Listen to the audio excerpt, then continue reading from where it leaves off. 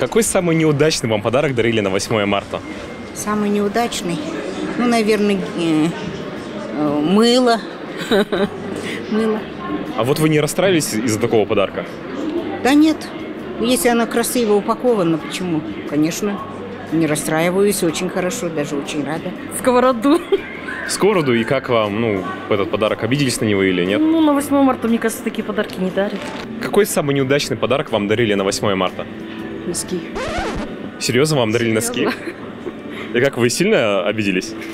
Да нет, я, слава богу, человек с юмором.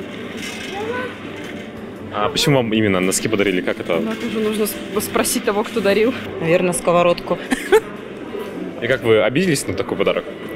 Ну, есть такая поговорка, дареному коню в зубы не смотрят. Все равно пригодится.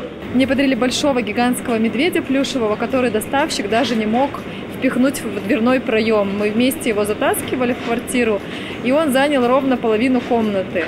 То есть я не фанат мягких игрушек, в принципе, и он э, мешал ходить, мешал э, там в доме какие-то манипуляции делать, поэтому вот пришлось этого медведя ликвидировать, и подарок не принес мне какой-то радости и хороших впечатлений.